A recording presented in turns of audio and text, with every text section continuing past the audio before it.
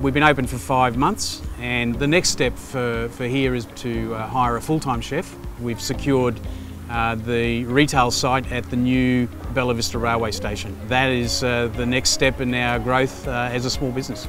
There's no doubt engaging Service New South Wales has given me the confidence uh, to not just execute the first site, but to look at the other options uh, to develop the site. Ready to get started?